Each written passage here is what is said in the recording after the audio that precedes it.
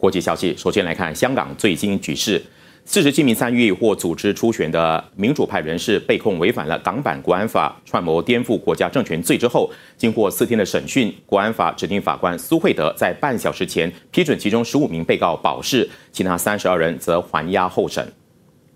今天审讯过程一再因为技术问题，法庭不断押后公布四十七名被告的保释裁决。最终晚上八点左右，法官批准十五人保释，当中包括了郑达宏、杨雪莹、彭卓棋等人。法庭也设下了各种条件，包括被告不能发出或转载任何可能违反国安法的行为，不能参与选举，也不可以直接或间接以任何方式联络任何国家的官员，交出所有的旅行证件，以及每个星期获释的被告必须向警方报到三次。